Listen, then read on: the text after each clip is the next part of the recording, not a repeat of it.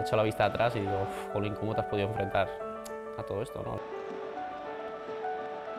Al principio pues te preguntas, ¿no? ¿Por qué me toca a mí?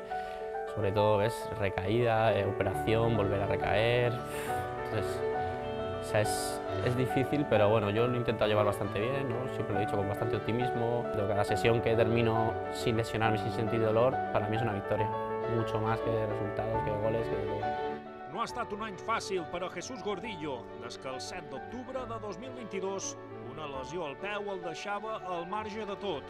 Aquestes parets han estat ca seva, dia rere dia de feina per recuperar-se de la fractura al peu, fins dissabte passat, quan repareixia i marcant la victòria contra el Betis.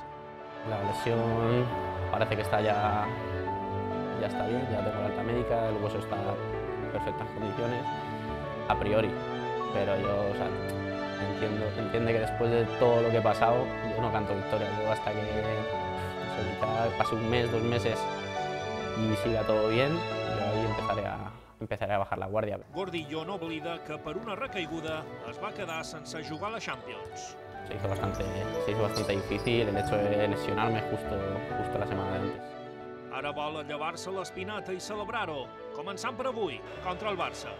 Aquí la gente va a gritar, es un partido que gusta jugar y, tengo muchas ganas de vivirlo en el campo. ¿verdad? Cuando el equipo juega, juega en equipo, juega lo que quiere el equipo, o sea, és molt difícil ganarnos. Serà un retrobament especial amb l'afició, més encara després del premi que rebia just ahir, la cridada de la selecció. Quieras o no, los jugadores lo tienen en mente y esta temporada todo el mundo quiere dar su máximo para ir, para ir a esa cita histórica.